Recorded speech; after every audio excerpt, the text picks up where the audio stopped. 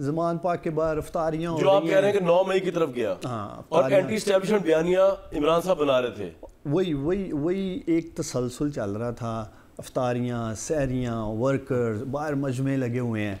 और ये जिस माइंडसेट की मैं बात कर रहा हूँ पार्टी में ये रियासत महालफ बयानियाँ जिसे सपोर्ट इमरान खान साहब आप जैसे कह रहे हैं एक बन गया अदारों के खिलाफ आप बताया ना इमरान खान सपोर्ट करते थे इस बयानी को? ऑफ़ कोर्स उन्होंने बनाया था। इस बयानिए को रियासत महालफ बयानिए को ही तो सपोर्ट कर रहे थे। कौन? इमरान खान साहब ने जैसे जनरल बाजवा से शुरू किया फिर हम्म। बातें करते करते करते करते सारे आसमनी तक आगे। मैं समझता हूँ कि कोई भी आर्मी चीफ हो उसने तो चले जाना है। जैसे आज जनरल बाजवा नहीं है उनकी जगह जनरल आसम मनीर है। इंस्टीट्यूशन हम्म। तो उधर ही है।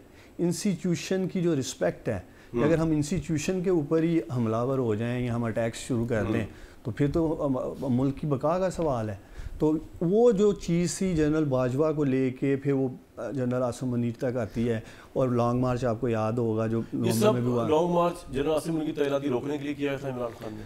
ऑफ़ कोर्स वो एक तैनाती को भी रोकना था फिर वो सारा एक पूरा माइंडसेट चलता आ रहा था।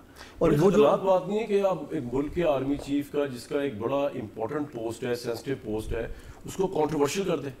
देखिए एक तासुर आपको बदकिस्मती नहीं मेरा मेरा, मेरा बड़ा लीडर इमरान खान मेरा ख्याल है कि इमरान खान साहब को शायद इंस्टीट्यूशन के अंदर से कोई इन्फॉर्मेशन थी। अच्छा। कोई ऐसी हो सकता हो कि लॉन्ग मार्च करने से जनरल आसम मनीर जो है वो नहीं लगाए जाएँगे या हटा दिए जाएँगे या जो भी एक था। तो खैर नौ में प्रेशर पड़ेगा हाँ, तो। और नौ में तो एक तरी है ना गिरफ्तारी अमल में नौ में को आई लेकिन वो एक जो प्रोसेस चलता आ रहा था और वो कभी भी एक्सपेक्टेड था। आपको याद होगा इतने ज़्यादा प्रोसेस में इमरान खान साहब का आप ये रोल हंड्रेड परसेंट मानते हैं कि चाहे वो स्टूडेंट्स के पास गए हल्फनामे लिए उन्होंने खौफ के बुत तोड़ने की बात की वो फौज के खिलाफ लोगों को अपने लोगों को तैयार कर रहे थे। अगर उन्होंने गिरफ़्तार किया गया तो फौज इंस्टॉलमेंट पर अटैक कर दो। देखिए ये तो मैं कह रहा हूँ ये तो बात हो रही थी मीटिंग्स में कि अगर गिरफ्तारी की सूरत में हमने रियासती अदारों पे हमलावरों ने और अच्छा। उसके बाद क्या कहते हैं ये जिस तसलसल की मैं बात कर रहा हूँ टकराव की और वर्कर्स की जैसे जहन साजी की मैंने आपसे बात की है तो ये एक वो पूरा तसलसल था अब एक्सपेक्टेड तो था हाँ साहब ने गिरफ़्तार होना है और वर्कर भी जैसे मैंने आपको कहा हरे इकट्ठे हो जाते थे जमान पाक के बाहर तो ये नहीं पता था कब गिरफ़्तार होना है